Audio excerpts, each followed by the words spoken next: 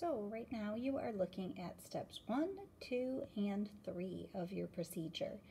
I measured out 10 milliliters worth of our oxalic acid solution.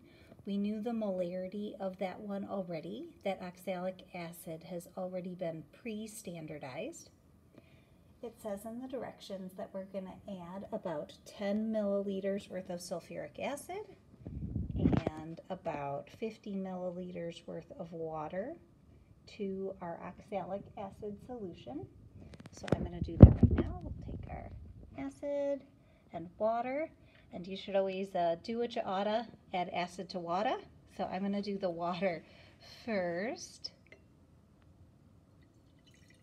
There's our 50 milliliters of water. Next, I'm going to add the 10 milliliters of acid.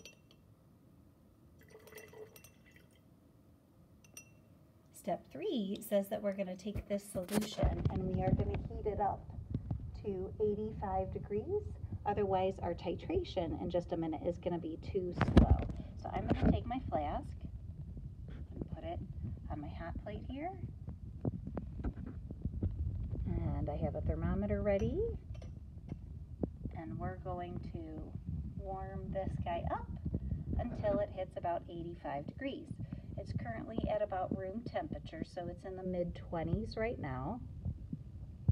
And we'll come back in just a few minutes when it's at about 85.